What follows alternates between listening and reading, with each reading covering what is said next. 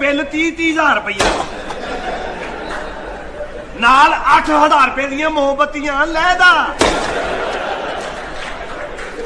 ਤੇ ਘਰ ਦੇ ਬਾਹਰ ਬੂਹੇ ਤੇ ਇੰਜ ਲੱਗਾ ਜਿਵੇਂ ਸਾਡਾ ਆਪਾ ਹੈ।